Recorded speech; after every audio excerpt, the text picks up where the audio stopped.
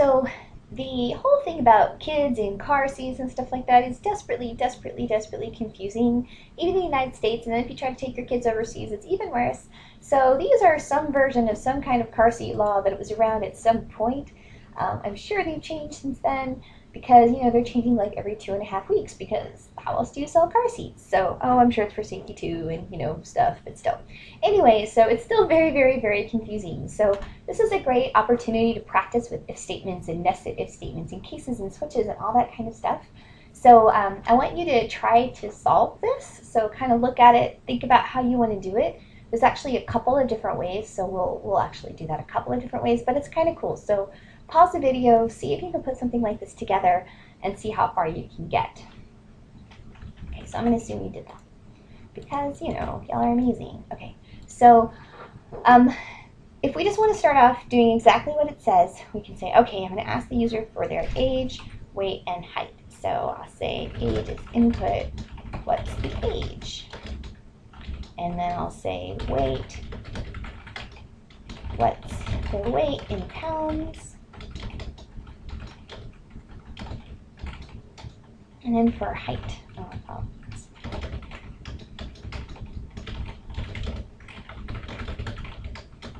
Okay, so there we go. Now, so this is kind of just like this totally craziness thing. So what's the age? We'll say in years. Um, yeah, what's the age in years? So we'll start off, we could say, well, if the age is less than 1, right, because that's 12 months so if they say, if you're less than one years old, then we're going to say rear facing car seat. All right. Now, else if, okay, so I'm probably going to do this as like, no, I'm probably going to do this like a nested. So um, I've got that one. If there are one to three, so else if the age is, I know Windows Update. Um, else if the age is um, we'll say greater than or equal to 1 and the age is less than or equal to oops, less than or equal to 3, then I want to have them in a rear-facing car seat, but once they're 40 pounds or taller, then 42 inches they can face forward.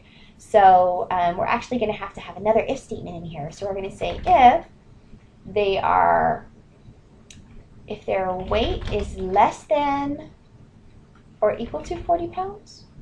Let's do it this way so that we're saying it the exact same way that they're saying it. If we say, if their weight is more than 40 pounds, or if their height is greater than 42 inches, then you can face forward. Otherwise, we are still in a rear-facing car seat.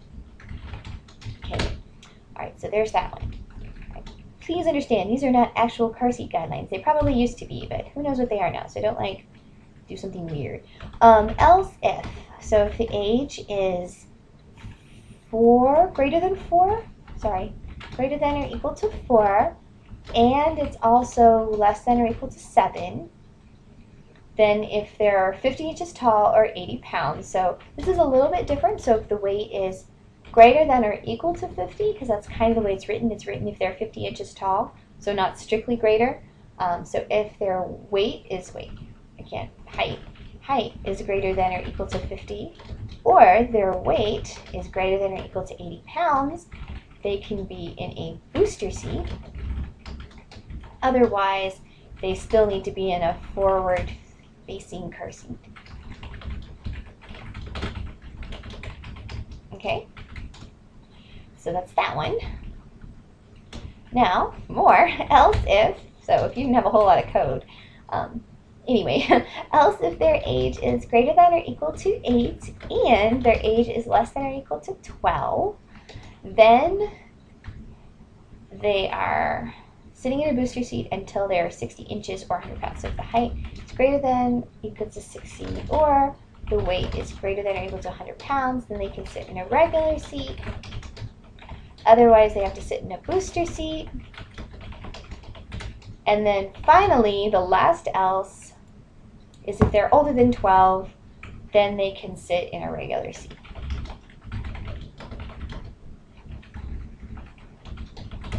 Okay, So this is kind of crazy, but this is our giant, giant, um, giant code.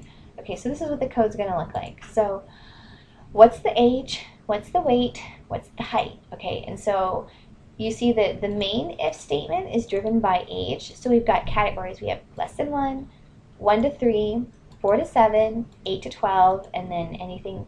I don't have to say else if age is greater than 12, so I don't have to say that because if it's not any of these, it's going to be greater than 12. So I really don't need to put that in.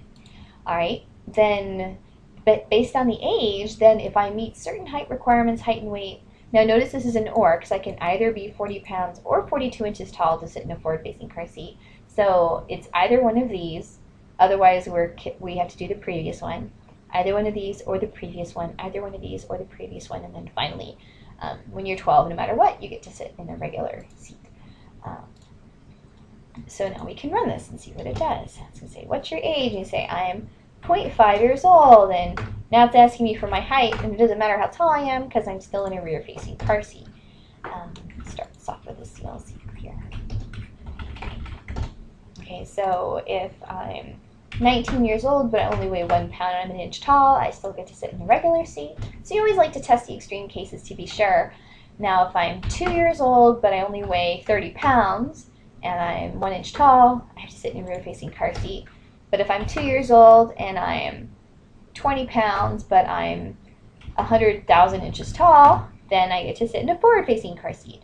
So that's kind of one way that you can approach this, and this is a totally legit way. So the only real things that you might have a problem with is that if I say I'm 21 years old, it's none of your business how much I weigh or how tall I am. I get to sit in a regular seat. So there. Similarly, if I'm only a half a year old, it doesn't matter how much I weigh or how tall I am because I have to sit in a rear-facing car seat. So I'm going to try to do this a different way, and if you did it a different way already, that's great. Um, if you didn't, try and pause the video and think if there's another way that you could set it up. Um, we also I've seen this done, and it kind of some people seem to like setting up. Whereas instead of actually having them type in an age, that they would select a button like which age category do you fall in, and then asking them questions based on that. So that's how I'm going to do it the second time around. So if you'd like to pause the video, give it a shot, see how far you can get along that route. Now that you've kind of seen one way of doing it, see if you can think of another way to solve the same problem. So we're going to assume that happened. Okay, rev 2. All right. So I'm going to ask the user, so I'm going to do this a little bit differently now. So I'm going to start off with an age selection, and I'm going to use a menu now. So I'm going to say select the age. Okay, and I can say um, less than 12 months, and I can say 1 to 3, 4 to 7, and um, 8 to 12, and then over 12. Okay, so if I run this, this is what it's going to look like. So that's going to be the selection that returns a 1, 1. Um, then that'll be the selection that returns a 2, 3, 4, and 5. And if I hit this, then it's a 0. Okay, so now I can kind of set this up based on my menu selection. So I'm going to switch on the age selection. In the case that it's 0, I can yell at them for not making a selection. Okay. Um, in the case that's one, that means they're less than 12 months old. So no matter what, that means they have to be in a rear-facing car seat. Okay. In the case that they're two, um, or that they select two, so this is selection one, this is selection two. Selection two is one to three. So I'm just going to write this down so I don't forget. One to three, case three is 4 to 7, and case 4 is uh, 8 to 12, I think. 8 to 12, and then case 5 is over 12. So if they're over 12, you can sit in regular car seat. Can't spell. All right. All right, so this for me, I guess, already looks a little bit cleaner, already looks a little bit better. So um, in this option, I can either do another menu or I can do an if statement. So I'm going to do um, if statements just to kind of show you for fun. Um, so I can say if, um, all right, first of all, I need to ask them for their height and weight. So um, uh, weight, input, please enter weight in pounds. And then height is please enter height in inches. Okay, so for each one of these cases, I need to know height and weight. So for cases 2, 3, and 4, I do need to know height and weight. I have to actually go pull what these are. So 40 pounds or taller and than 42. So more than 42. So if the weight is greater than 42, no, 40. If the weight is greater than 40 or the height is greater than 42 inches, then I can say, um, what am I saying? Uh, forward facing car seat.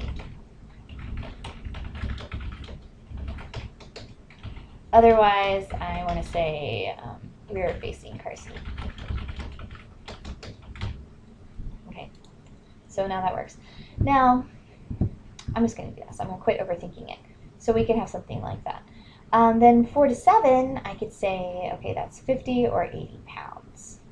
50 inches or 80 pounds. So I could say um, if weight is greater than equal to 80 pounds or height is greater than or equal to 50 inches, then I can say um, booster seat. Is that what it is?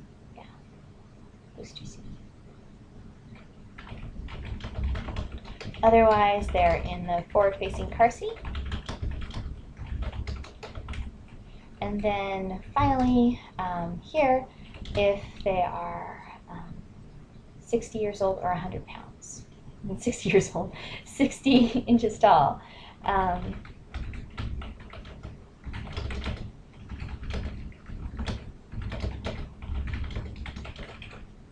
then I can say regular seat.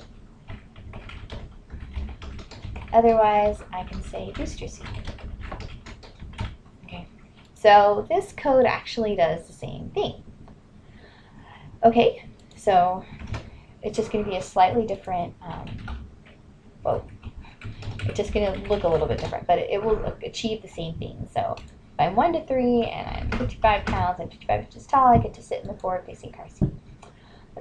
Now you might say, well, that works and that's fine, so I'm going to undock this for a second so you can get a good, a good view of it. Um, unfortunately, you can't see the whole thing at once, but you get a pretty good idea um, of what this is going to look like. So, um, so you could do this. Now, it might bother you that I'm asking for height and weight over and over and over again, but notice I'm not actually asking for it over and over again. I'm only asking it in certain cases. That said, I can still fix this and make it a little bit nicer um, so I'm going to copy this.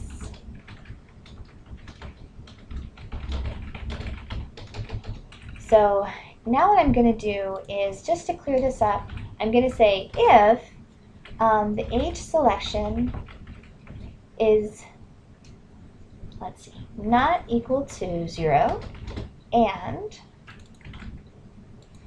well, let's say if it's equal to 2, 3, or 4, how about that? I'll just say if it's equal to 2, or if it's equal to 3, or if it's equal to 4, then I'm going to ask him for height and weight.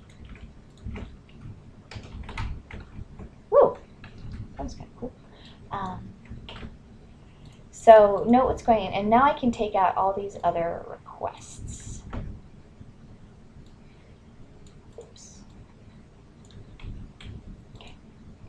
So now basically I just moved the input so I only have the input statement written twice, but it's going to ask, so basically it's going to do the age selection and then it's going to ask these numbers if it needs to. So if I select that I'm 12 months old, it's not going to ask. If I select that I'm 12 years old, it's not going to ask. If I exit out of it, it's not going to ask. Um, but if I select here, then it's going to ask for the height and weight, and, and it shows up. And then it'll make the decision based on that. And the only real appeal of doing that, it does clean up the code just a little bit um, so that you can see a little bit more. But it only asks, again, it only asks those questions um, if you need to. But it, it's, it's just to kind of show you that there's like a million different ways of, of solving all of these problems. And so if you're not getting the exact same thing I'm getting, but you're getting the same outputs, then don't freak out because logic is cool and you can and you can make all kinds of different different ways to do it. And it's really kind of a personal preference. I think I probably like this one the best because it has less extra stuff and it's pretty easy to tell um, exactly what's going on.